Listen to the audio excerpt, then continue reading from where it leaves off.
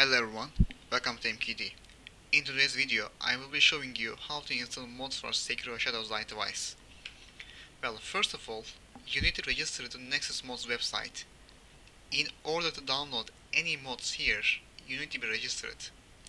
After registering your account, just come back to Sekiro Mod Engine and download it by clicking manual. I already downloaded it, after downloading it, open it up and then copy all the files here to your Sekiro installation folder and also make a folder called mods. You'll be putting your mod files in this directory. Now, now that we installed mod engine, we need to make it work on Linux. This step is exclusive for Linux users.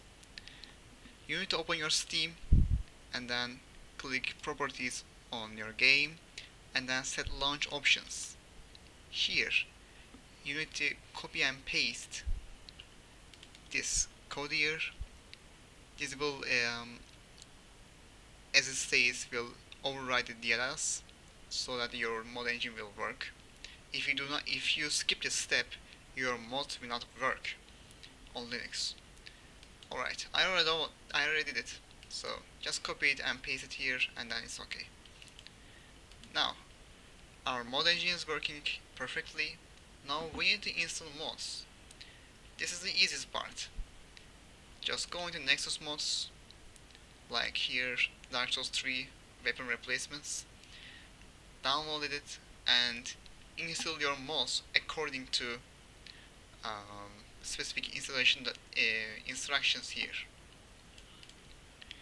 After doing that, your mods should be working fine.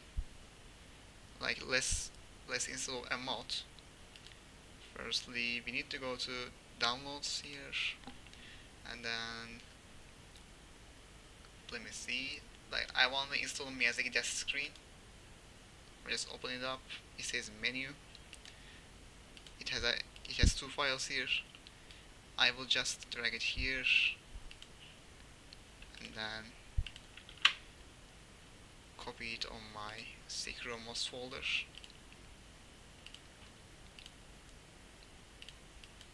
I, I read it alright so I just write into and now it's it's done. It will work. Sadly I cannot take any in-game videos but this should do the trick Thank you for watching.